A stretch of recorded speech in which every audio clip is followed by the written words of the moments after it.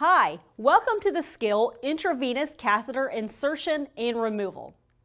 Now this is a pretty complex skill, so please pay attention and follow along with me. So let's start with what you're gonna need. There's actually a good amount of equipment that we need to consider when we start an IV. So first and foremost is the peripheral IV catheter. Now know, with IV catheters, it's gonna vary in sizes. So you will have to make a decision about which one is most appropriate. So don't forget, peripheral IV catheters is going to vary in sizes. Also know that each facility has a little bit different equipment, so you're gonna want to get familiar with what your facility has. All right, next we need to look at the extension tubing. Sometimes you're gonna hear a nurse called, uh, call this a pigtail. It's a funny name, but a lot of the time if someone says, hey, go get a pigtail, this is what they're talking about. Then we're gonna need the Luer lock hub. So this is what's gonna connect to your pigtail or your extension tubing. Then you're gonna need saline flushes. So again, more equipment. We've got an IV start kit. So the nice thing, all of these pieces are usually bundled together. However, I'm gonna talk about those components of that start kit. So first you need an alcohol pad. This is gonna help clean the site. You're going to need a tourniquet to hold pressure and also to help uh, visualize veins for you. You also will need a gauze dressing. This may help be there to clean up any mess that you made. And also a transparent dressing.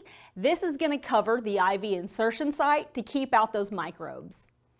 All right, so the last thing that you see is a stabilization device. Now, this is gonna vary from facility to facility. So in this, just know that that's a possibility that your facility may use, but lots of facilities do not use this due to cost and extra supplies. So when we start an IV and any procedure with a patient, don't forget hand hygiene when you come into the room.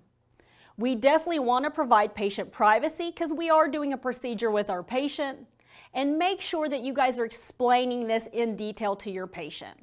Now keep in mind, when we are poking or inserting an IV, if you will, anything sharp, any procedure with the patient, there may be some apprehension there, some anxiousness, so we want to be reassuring in this step.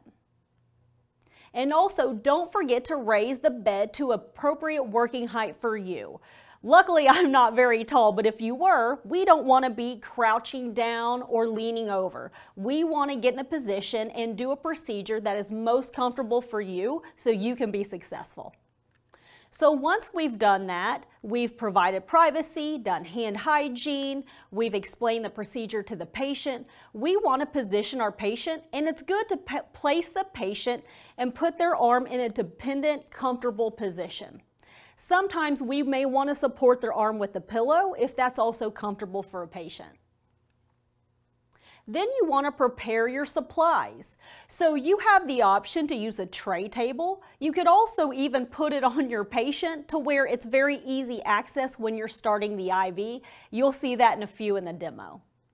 Also, before we start the procedure, let's do everything we can so we don't have to uh, basically stop in the middle of what we're doing and we've got our hands tied up. So we're going to attach that Luer lock to the extension tubing. And then we're also going to attach our flush here and I'll, you'll see why later. So we're gonna attach the flush, we're gonna push the plunger and what we call prime the extension tubing all we really mean here is we're going to push the saline through the pigtail or extension tubing here. So now pro tip, if you will leave the flush attached to your pigtail or extension tubing, this will make it much easier for you later when you have to attach it to the IV. So now let's take a live look at how we prepare equipment. I'm going to get some hand hygiene started. All right, so first I've got all my equipment here and of course my patient. So I wanna make sure my patient is nice and comfortable. This could be a bit of an anxious procedure for them, so I want their comfort to be really important. All right, so then we're gonna take the arm that we decide to select our vein and make sure that arm is in a nice, relaxed, dependent position. So now I can open and prepare my supplies. So if you remember here when we talked about supplies, we've got an IV start kit that contains most of what we need. We've also got our IV catheter. We've also got our extension set. We also have our hub on top of our extension set so we can attach our flush later. All right, so anytime you start an IV, you want to try to make sure all of your equipment is nice and ready because once you get in there, it's very hard to try to manage equipment and then IV insert. So let's open our equipment first. All right, so most facilities have something looking like an IV start kit. The nice thing in here, when we open, it's got a nice tab for you. You can open this up, and this is gonna include things such as your alcohol pad, your tourniquet. It's gonna have your extra gauze for you. So when we've opened this up, we've got our tape. We've got our ChloraPrep or alcohol pad. Now each IV start kit's gonna vary a little bit, so just know that you will have something to clean the insertion site with. We've got our tourniquet and this is gonna be applied to the patient. Always comes with a nice little rubber band. Let's get this off. Gonna unroll this. So this is our tourniquet for our patient. Then inside we've got our transparent dressing as well. So we wanna get that out and ready. We've got a gauze pad also inside the insertion kit in case you need to clean up a little extra body fluid or blood. This is also a nice little thing that comes with the insertion kit. This will help go underneath the patient's arm if you choose to use that. All right, so now that our equipment is open, I'm also gonna prepare my IV catheter. As you can imagine, if I'm trying to insert an IV, trying to open all of this, while doing the IV is not going to be very easy. So let's get all this prep first. So I've opened my IV start kit. I've got my tourniquet and my catheter ready. Now we're going to prime and attach our extension tubing.